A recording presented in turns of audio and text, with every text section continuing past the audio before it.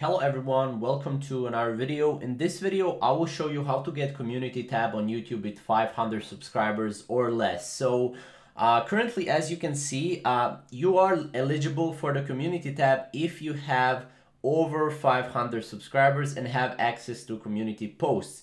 As you can see, it will take up to two weeks to see community tab after passing 500 subscribers. The community tab may also be available to other channels as we continue testing these features, right? Now, for the community tab to be available, you need to have 500 subscribers or enable access to advanced features on your channel.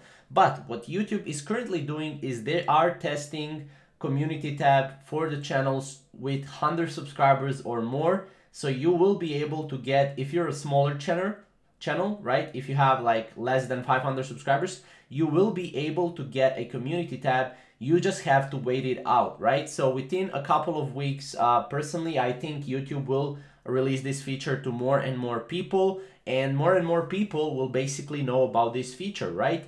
And more and more people and more channels, especially smaller channels will get this feature enabled. So even though you have 100, 200, 300, 400 subscribers, or even 500, right?